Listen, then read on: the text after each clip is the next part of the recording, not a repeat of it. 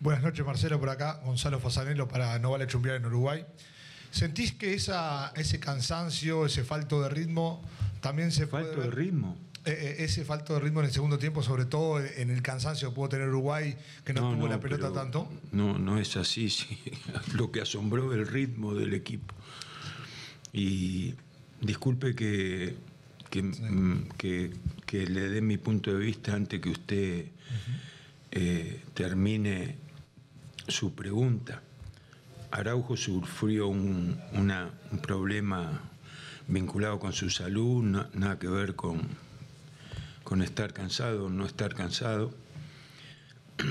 En ese sentido, es suficiente verificar que los zagueros centrales son los jugadores que menos corren en los partidos. Difícilmente un zaguero central eh, se pueda interpretar que, que se canse.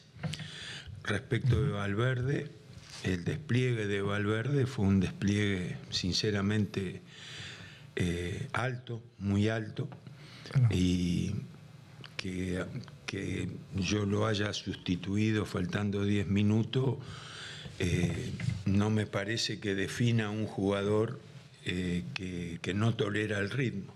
Marcelo. Y después un equipo que presiona en campo rival y que dinamiza el juego y que necesita correr mucho para plasmar su idea de juego, no puedo, me cuesta imaginar que, que una pregunta sea encabezada asignándole falta de ritmo. Sí, no, a lo que me quería referir, que no, no pude terminar la pregunta, es eh, si algo No, de todo lo que bien. ser el rendimiento. que usted no pudo terminar la pregunta, porque parece que la pregunta no contenía la, frase que hizo que yo imprudentemente lo interrumpiera. Usted habló de falta de ritmo. Eh, Entonces no es que la pregunta no contenía eso. Es verdad que yo lo interrumpí, como es verdad que usted habló de falta de ritmo, pero continúe, discúlpeme. Sí, eh, le, le decía que justamente si algo del ritmo del partido se pudo haber dado también por el hecho de que Uruguay eh, en los partidos eh, que tuvimos amistosos no tuvo muchos partidos, me refiero que tuvo muchos días de inactividad, sobre todo más en entrenamiento y muchas veces hablamos que cuando más fútbol tiene a veces mejor juega.